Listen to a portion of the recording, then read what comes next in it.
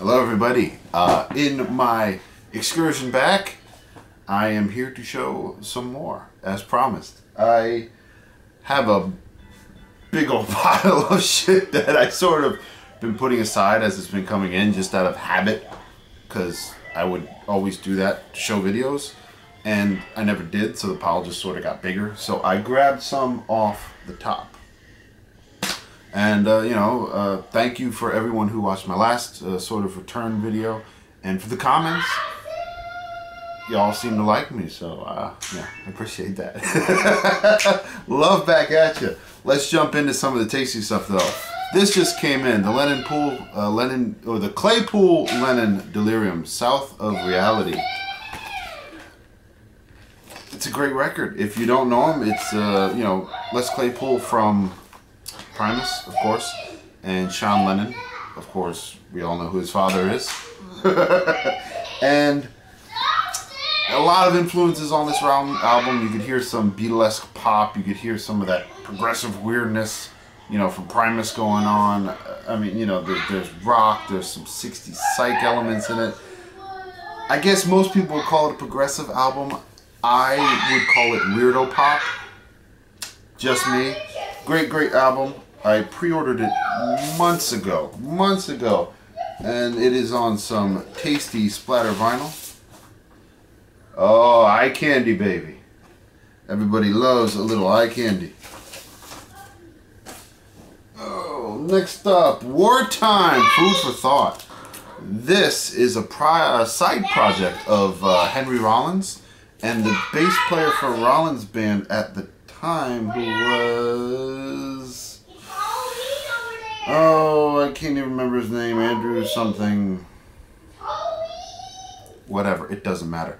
Uh, bass and some sort of like electronic drums, like a drum machine, mixed with Henry Rollins doing his thing. I mean, great fucking record. I think it's from 89 or 90, 1990. If you love Henry Rollins, if you love Rollins Band, look for this time. Wartime food for thought. You can find it pretty cheap, but definitely tasty. And speaking of Rollins Band, Rollins Band turned on a collection of live recordings from. Oh, where is it? It's two different ones. It's from. Oh well, can't remember. It doesn't matter. But I believe it's from two different shows. I love Rollins Band. Why not have some live stuff? What else is there to say? Ah, the Breeders' new album. Uh, what the hell is it called? I forget. All Nerve. Sort of a throwback to their first album, I would think, because uh, lots of little slow, sort of spacey bits. Uh, but then, you know, every now and then they rock out. So, I mean, it's just classic Breeders. You gotta love the Breeders. Ah, two from these guys. Slow Green Thing. Uh, German band, I believe I got two and I got three. Sludgy doom rock, basically. you know what I mean? Picture stoner, like a stoner album, but then with sort of really almost uh, melodic 90s vocals. So it's a really cool juxtaposition, but Great band, check them out. Uh, I'll try to remember to put a Bandcamp link down for them. I know that's where I got them from. Acid Mothers Temple. Uh, uh, I can't even remember what this album is called. Doesn't matter.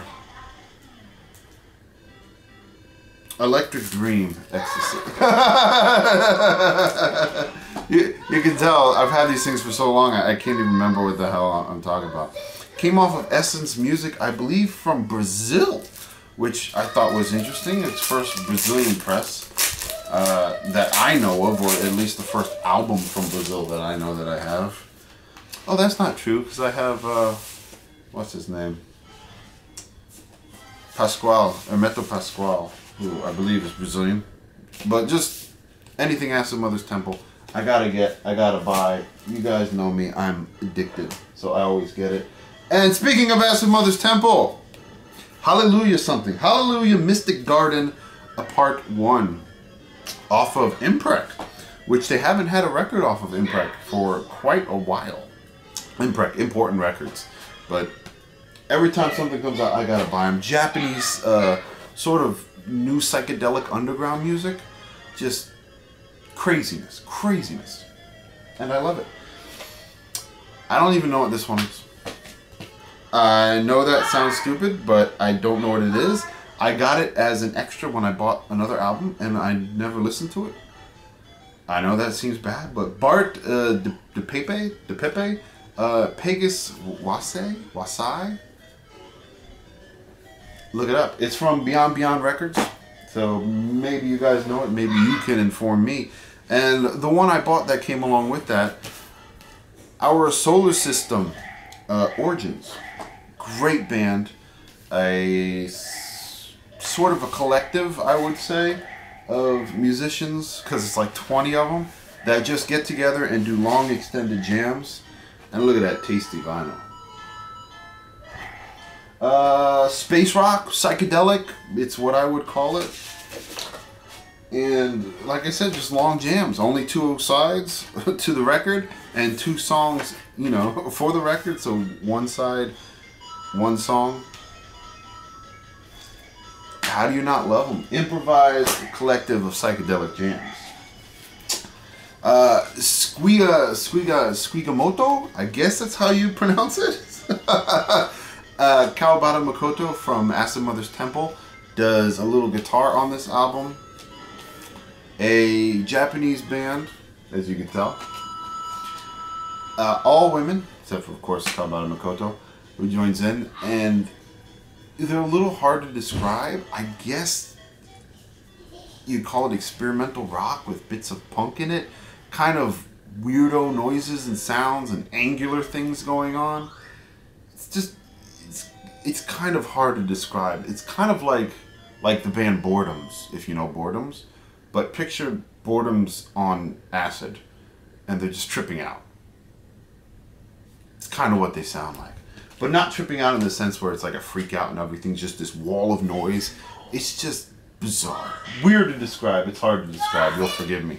Øresund Space Collective. Chai, uh, Chato, Chat, Chatoyant. Chatoyant Breath. I don't know how to pronounce it. I'm sorry. Øresund Space Collective is a group of musicians that is a ever revolving group of musicians, I should say, uh, from well, not from Denmark, but from Europe and the United States that just get together in Denmark and record. Improvised jams, they tend to be long and extended. Uh, each one of these is 20 minutes or more.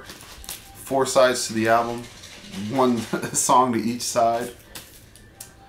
I mean, I, I, I love them. It's one of the things I like about music, that free sort of experimental improvised thing. They just get together, they jam, and if it sounds good, they press it. Anywhere, anywhere too. Great album. Uh, acoustic psychedelic is how I would uh, uh, describe them. Although with this one, they, they do get into a little bit more of the electric sound. But their their first album was all acoustic. Cedric uh, Bixler Zavala, that's how you pronounce his name, from the Mars Volta comes in, does some vocals and does drums. And a bunch of other musicians come into this one, but anywhere, great band, check them out.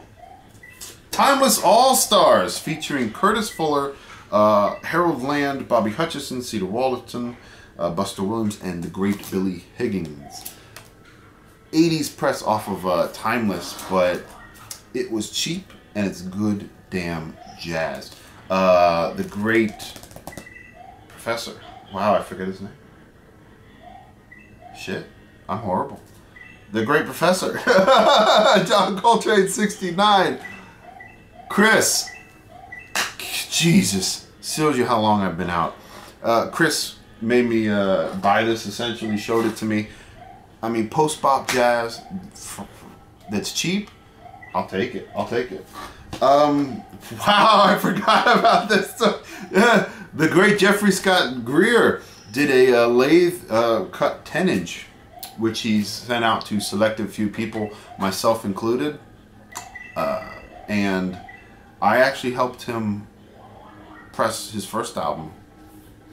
Uh, schematics for a blank stare, which I have plenty of copies still. but uh, you know, Jeffrey, if you're watching, thank you for sending that over to me. Uh, good friends in vinyl and in music. Uh, Fire off of the great Norwegian Rune Grammofon label. And I mean, what's there to say? Fire is fire. uh, very new contemporary jazz is how I put it. Influence of electronic and influence of rock and almost punk. But overall, just played with that energy because it's just jazz. And it is awesome. Some light, airy, long tracks on here, but mostly just sort of assaulting your ears. The kind of stuff I love. And the last one we got Earthless Black Black Heaven. uh, yes, Black Heaven.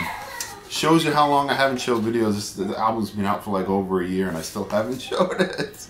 Uh, I will say this. I sort of, as good as this album is, I miss the old Earthless. Earthless used to be these long, extended, just psychedelic jams. And they're not doing that anymore. And there's nothing wrong with that because the album's still fucking awesome. But I miss the old Earthless. And if you're an Earthless fan, you know what I'm talking about. That's all I got to show for now. If I'm trying to show everything, it's just going to get way too long. so, until next time,